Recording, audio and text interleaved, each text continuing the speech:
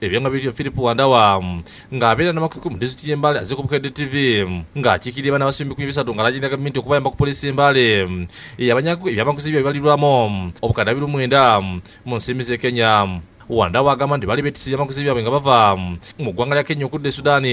ng'abiri omwezi ogwokutaano omwaka 2015 emmotoka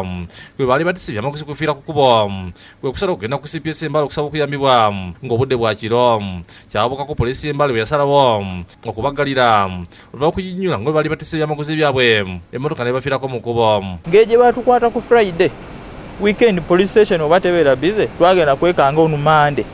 tukyali muki tukyali mu serozi bwe twali mu serozi baasi bwe bagenda ku parade fe batugamba fayiro yamwe ekyali twagenda kwekanga same story gye batugamba paka ku lwokuna. Agamba nti olukwe lwa polisi okubanyako emmali yaabwe lwetabwamu eyali dpc w'embale mugambi peter n'akyusibwa n'abatwali b'ehoima kyokka bwe baggulawo omusango tebayambibwanga etukyategeddwa omu kubatikula ebintu bino ayogedde ekyabatuukako about the loss of our properties. At PSU, since then, they have been shunning us away. They have never given us assistance. We even went back, went up to Kampala, to PSU Bukoto, where we reported the case, and the files were sent back for further investigations,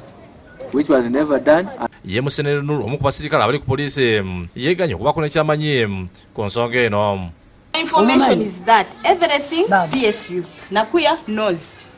I wrote my statement. senna buli abaagala alina nejjofule lwega bakusakidde egguli ino lwabukedde tv bo abakubi b'ebifaananyi obwedda buli omu ajja akakodyo akanalabisa ebifaananyi obulungi